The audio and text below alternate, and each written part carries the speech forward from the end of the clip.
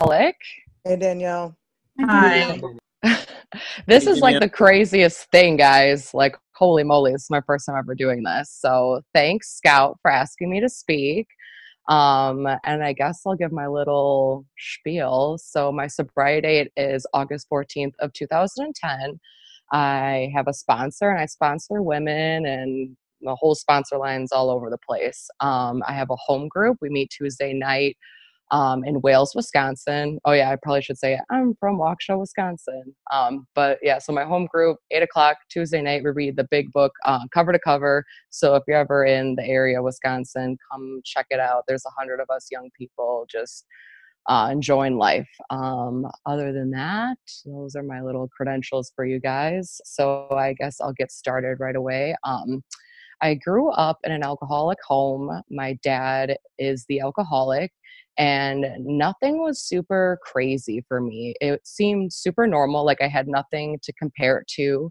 For me, the police coming to our house regularly was nothing crazy. Um, for me to go spend the night at my grandparents' house because my dad's too drunk was just normal. Like that was just what I did. And yeah, like I had nothing to compare it to. And then in kindergarten, when I started making friends, like my best friend, both her parents could probably benefit from AA. Um, you know, like so our lives were very similar. And I remember we used to argue about whose house we were going to go to. Um, you know, whoever's parent was like less drunk or it was less chaotic, like we would go hang out at that person's house. And so in reality, yeah, like nothing was too crazy. So my parents then split when I was like eight years old, and my mom found uh, her 12 step program she's an al-anon and like that's when my life like flipped upside down for me because you know my mom was like trying to practice all of her principles and all of her fairs and like that was the foreign thing to me so um, as my mom got into her al-anon program my life started becoming uncomfortable and like a lot of big things were like happening in when i was eight years old to 10 so my parents split and my mom's going to Al-Anon, doing her thing. I found out I had a learning disability, so there was just like a lot of things happening for me, and it just like drove that wedge for me to make me feel like I didn't belong anywhere. You know, none of my friends' parents were divorced, none of my friends had a learning disability, none of my friends, you know, were going through the situations I was going through. And so at a very young age, I always remember just feeling different. And I didn't realize in the moment that it was happening, but when I look back, I can see like how I always still like had that like distance between us. And like these were friends that I grew up with my whole life, like from kindergarten all the way through high school. But there was always still just that like there's something different between us. And it wasn't until um, I I drank for the first time that me and that best friend from kindergarten, the first day of kindergarten, we drank together, and I finally felt connected like between us and um, most of my drinking revolves around my mom being at al-anon meetings or conferences or going to aa conferences because that was the only time that she would leave the house. So my first drunk uh, ironically was when my mom was at her home group and you know we drank like just stale coronas. Apparently they were in the refrigerator for two years. I didn't know that at the time and we drank cooking wine. And I, of course, did not realize it was cooking wine until after the fact when I told my mom about my first drunken. I was like, you know, there was wine. And she was like, no, like I never buy wine. Like that would be cooking wine that you drank. And so, needless to say, my first drunk was just like absolutely disgusting. And to make it worse, we because we were trying to be fancy little bartenders we mixed the cooking wine and the beer with ginger ale like it was just like the most disgusting drunk ever. like, so we're 10 years old. Like, we don't know what we're doing. But the biggest thing is, like, obviously didn't get drunk from that night, got a little tipsy from the stale beer. And all I knew was I was going to do it again. Like, that's all I knew from that night was like, I am going to do this again and I'm going to do it the right way. Um, I want to feel, I want to, I want to be drunk. And so there on out, like nothing too crazy was happening, just still like that distance between me and my friends um, like school wasn't that great for me with my learning disability but it was just like i had something to look forward to was to get drunk again and so really you know it's just like whatever wine coolers we could steal from our parents house like that's what we would do. And then I remember there's the, this distinct moment, me and that best friend, we were sitting at my house. It's the summer going into high school, and we're just talking, and we are just like, we want to be the party girls. Like that was like what our destiny was going to be. It was just like going into high school, like we were going to do everything we could do to be the party girls. And so like that was it. Like I was just like, oh, how did I not think of this sooner? Like I finally found my future. And so, you know, it just like took off for me. Like my drunk log is like very short. It's really not that entertaining. Um, sorry guys, but um, like one funny moment was so my mom's in Al-Anon. She got a part of the Wisconsin bid for ICYPAA. It was 2009. Um, so a year before I got sober, and so I'm having this massive party at my house, and it just like gets out of control because I'm finally, you know, to the point of my drinking career where it's just like I no longer care anymore. Like I would do anything for anyone to make sure I could get drunk. And so like all these people are at my house, like my house is getting destroyed, like people were egging the inside of my house. Like it was just like it turned south real quick. And so and I remember I had it was the first moment where um like I just like really just like gave my life kind of to God. And I didn't realize in the moment, but I was just like sitting on my couch while all this chaos is ensuing in front of me. And I just like called my brother and I was just like, I need help. Like I don't, I don't know what's going on. Like I need help. And so like my brother comes over, he like kicks all the people out, the cops got called, like all this stuff. And so my mom, of course, is like in Atlanta, like bidding for ICYPAA. And then as the main speaker is about to like walk on stage, she gets the call from the police department to be like, hey, just so you know, your daughter had an underage party at your house and like you know, just like all this insanity going on around us. Um, so when my mom got home, she was like, you are going. So then, of course, uh, ICYPAA was uh, awarded to New York. So it was going to be New York in 2010. And so my mom was just like, you have to go to this conference. Like that was like one of the stipulations after this party. She was like, you have to go to ICYPAA in New York. Um, that's it. And she was like, you don't even have to attend the conference. Like we'll go out early but like you just physically have to be there with me. And so like of course like I'm just like all salty. I'm like, oh I gotta go to a stupid AA conference. Like it's so dumb and like, you know, since my mom being an Al-Anon, like I wouldn't be punished normally. Like I wouldn't be grounded. She wouldn't take my car away. Like she would ground me to AA meetings. Like I would have to go like anytime I got caught drinking, like I'd be grounded to six AA meetings and I would have to do that. So you know, like it was just like, okay, like just go to New York, like try to make fun of it, whatever. And so you know, I continue with my drinking career and it just like went down real quick. I mean, so like that happened at the end of August, September, and October. Um, I got caught drinking. I got arrested in two different cities. And, you know, I'm like sitting in my bed and I'm just like, oh my God, like there's no way I'm going to get drunk tomorrow. Like that was my first thought. Like after like just all of this insanity happening, it was just my first thought was like, I'm not going to get drunk tomorrow. And that scared me to death. And so I attempted suicide that night. And then so I got sent to the psych ward and got sent to treatment. And we're just like doing all these, doing all the little hoops that I jumped through or whatever. And I get out, you know, in December.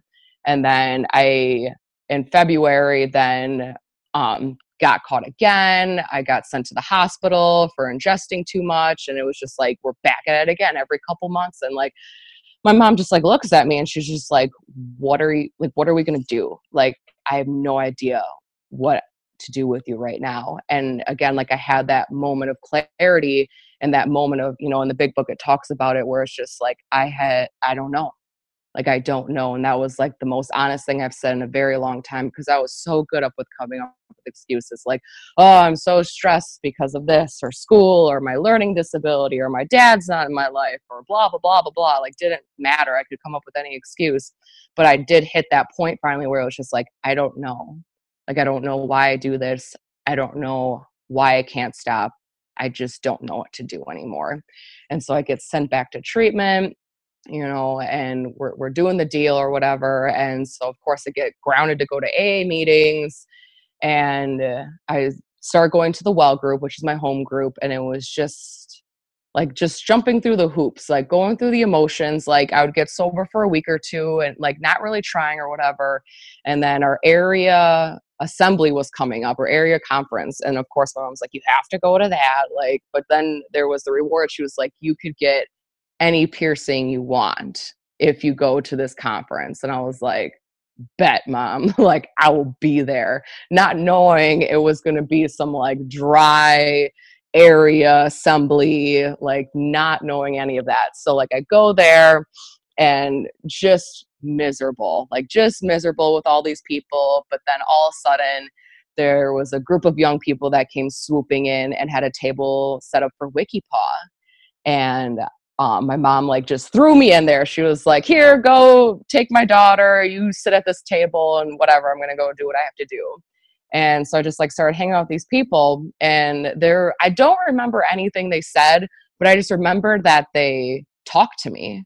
Like they they just talked to me. Like they didn't ask really about like why I was there. They didn't ask about like my sobriety date. They didn't ask me about my drinking. Like they just talked to me and they wanted to get to know me. And, and that was huge for me. And so there was an old timer there and he, and he knows my mom and he was just like, You're going to get a sponsor. And I was like, uh, and I was terrified of him at the time. So I was just like, uh, yeah, I'll, I'll get a sponsor. Like, just like shivering and like just so scared because I'm like, I finally have friends. And then like, I'm like, I can't disappoint them. And so I like go up to his wife and ask her to be my sponsor. And she was like, I can't, I'm sorry. Like, I have too many sponsees. And then she was like, hold on one second. I'm like 11 days sober. And this woman comes up to me and she was like, Hi, I'm Robin. I'm going to be your sponsor. And I was just like, All right, I guess I have a sponsor. Like, don't really have a say in this or whatever. And so, like, that's when my sobriety started taking off. So, unfortunately, I didn't stay sober, but like my recovery, like the seed was planted for me. Like, I had the sponsor, I had people talking to me. Like, life was pretty pretty great. Like it was okay. Like it was manageable for me at that time. The most manageable I felt in a long time. And so um, you know, I thought there was a certain substance I could smoke while still counting sobriety. So I continued doing that um, for summer 2010. And uh, um, yeah, like I was just like calling this lady like every now and then, like going to some meetings, like, and then I went to like my first YPAA and it was just awesome. Like it was just like holy moly like i want to do this forever. Like this is so crazy. People are dancing on chairs. They're like shouting. They're having fun. We're dancing. We're just like being crazy. Like like i want to do this forever. Like oh my god like i'm 17 like this is like the coolest thing i've ever done besides getting drunk in a cornfield in wisconsin. Like this was great. Like let's keep doing this and so, you know, like, and then I started my senior year and I actually ended up going to sober high school and like life was taking off for me. And so, actually, you know, I go to New York. I actually end up going to New York sober. I had three weeks sober at the time, but I was counting like four months. And like life just took off for me. It was just great. Like I thought I had everything, you know, like uh, counting sobriety and I'm, I'm going to high school like i'm going to graduate on time actually and like life was pretty great. And then i finally get to this point in my sobriety like i was just over a year sober actually but claiming i had a year and a half sober. And i remember i was sitting at um, a conference a YPAA and it was a, a whole panel about people who lied about their sobriety. And i was just like oh wait a second. So, what I ingested over that summer was not considered sobriety. And so now I'm stuck with this dilemma of where it's like I could become truly honest with where I'm at, or I can continue with this lie and hope to still manage my life the way it is. And that was just not the case for me. God uh, realized like I had to be truly honest to keep living the life that I wanted. And so I came to this breaking point. I remember like it was just like such a such a wall blocking my God for me that I, I remember I had to pull over the side of the road. Like I left a meeting, like I didn't feel connected. And I'm just, I'm at that jumping off point again where it was just like, I know I can't drink because I've been in the program for a year and a half and I know this will not solve my problems, but I can't keep this lie anymore. And so I had, so I called my sponsor and I was just like, I don't know what to do. I don't even know my real sobriety date. Like, I don't know. I just like stopped one day and like, I don't know And so, like, we sat down, we went through a calendar, and I got to just pick out sobriety dates. So I know for sure on August 14th I was sober. I never put anything in my body since then. And uh, like it was just like this huge weight lifted off my shoulders and it's so crazy i look back and it's like why did i lie about such a stupid thing like i was just so fearful like everything i did like i would analyze and be so scared that you guys would just not love me like i always had that fear but once that was off my chest like holy moly could the you know spirit move through me and that's really when my life took off. I got involved in YPAA and like I um, graduated high school. I went to beauty school. Like life was really happening for me. And then all of a sudden my life got flipped upside down again. Like it was my three years. And um, the day of my three years, my brother got sentenced to prison. I found out my boyfriend was shooting up heroin. Like it was just like, what the heck, God? Like, what? I just started getting my life back together and you know it was i really learned to lean into the program like i really had to learn that like life happens and life happens real hard real fast sometimes and how do i stay okay with that and so thank goodness i was in the center of alcoholics anonymous i was you know i posted WICYPAA at this point i was on WICYPAA advisory we started bidding for EACYPAA like and at that like with that service work could I reach out to you guys? And like that was huge for me because it was so easy for me because I was already getting that rut to just see you guys and be like, oh, how's it going? I'm fine. I'm fine. Everything's great. I'm fine. And then you guys being there, knowing who I am and being in the center could see through that to be like, you're not fine. What's going on? Talk to us. And so I really just like dove into the program again and had to realize like how to really bring God into all of my affairs and really give everything to Him and how to like be a good sister still and how to be a good daughter and how to support while all of my life around me is falling apart, you know? And so I'm just like grateful for the service work to keep me in the center, to keep me humble enough to ask for help and so, you know, of course, all that happens. And um, I hated my job too. And so, like, another huge thing was happening was just like, I don't know what to do. And like with having a learning disability and never being good at school, like it was like, oh my God, I'm gonna have to go to college. And like I never took an ACT. I had a 1.77 GPA from high school. Like I don't know what college is even gonna accept me. Like this is just awful. And I just took the leap. I applied for a college and they accepted me for some crazy reason. And like I just graduated in December and I started at UW Milwaukee and like this past month and like it's just like crazy like looking back like the most fearful things in my life has come true and I've stayed sober through it and it's because of this program it's because of the service work to teach me how to be humble and how to ask questions and how to get the help.